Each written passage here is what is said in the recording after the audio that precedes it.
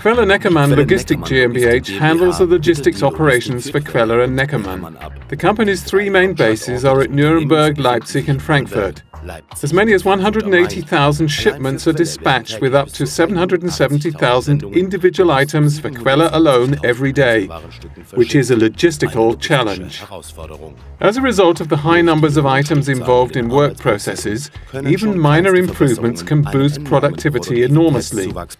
The process optimization managers in Nuremberg appreciate this and therefore invited MTM logistics experts to help the company.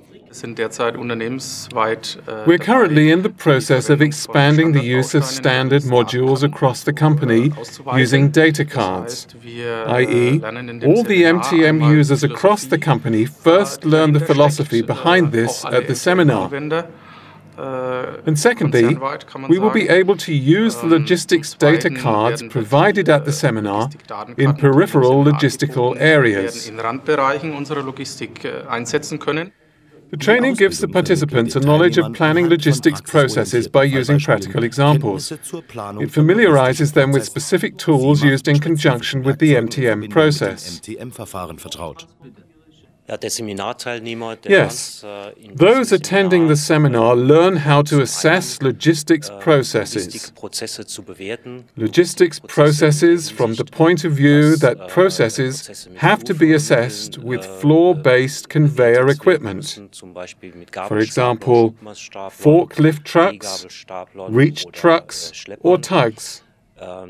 They learn how to work with this data. But we believe that it is very important that they do not just read off the data from the data card by rote, but also really learn to adapt the data to their needs, if they have other vehicles or other technical facilities. An adapted database is essential for a mail order company with such a variety of packaging materials and items.